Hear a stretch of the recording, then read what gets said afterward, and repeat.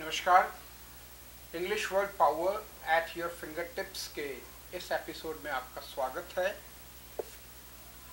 हमारा छठा मेथड है एक्रोनिम एक्रो का मतलब होता है शार्प और निम का मतलब नेम तो शार्प नेम जैसे एक्वायर्ड इम्यूनियो डेफिशिएंसी सिंड्रोम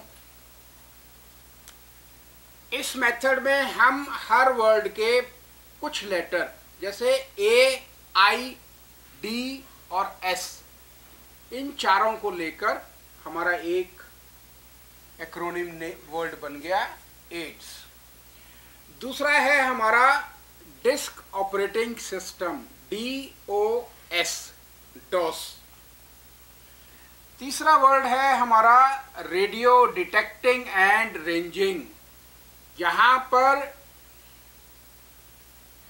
हमने ले लिया रडार। ठीक? यहाँ पर रडार है, रेडियो डिटेक्टिंग एंड रेंजिंग। और चौथा वर्ड है सोनार।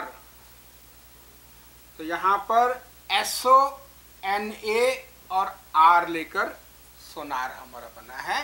जिसका मतलब sound navigation ranging thank you very much आइए अगला मेथड देखते हैं।